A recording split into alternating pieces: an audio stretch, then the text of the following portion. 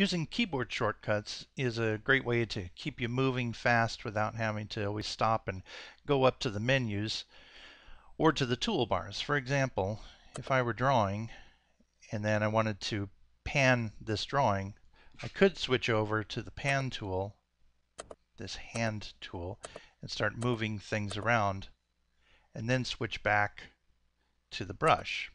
Or if I decided to use keyboard for this, I could simply hit the space bar which activates that hand tool and then when I let go I would still be using the brush.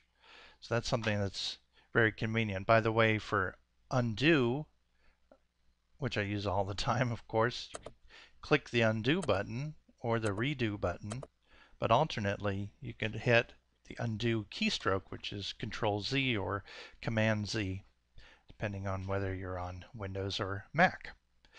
So using keyboard shortcuts is great, and this is a way to lead into finding how you can make up your own keyboard shortcuts. If you go into Preferences, you'll open up a window, and right the very first thing that you'll see is an option for shortcuts, because there may be a tool that you like to use that you want to customize. So I'd like to make a keyboard shortcut for the light table. So I will go to our preferences and the first tab under preferences is shortcuts. And under shortcuts there's many different tabs that cover you know the different tools that can be basically turned into shortcuts.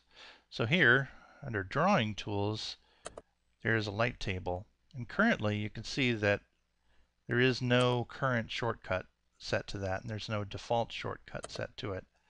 So for the light table, I want to add uh, a key, and I'll just keep it simple. I'll make it the letter L.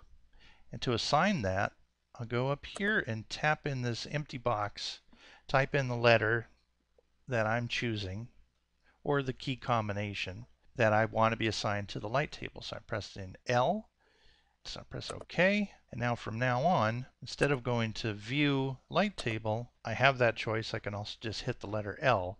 And you can see the little light bulb is now tied in with that keystroke and is toggling on and off.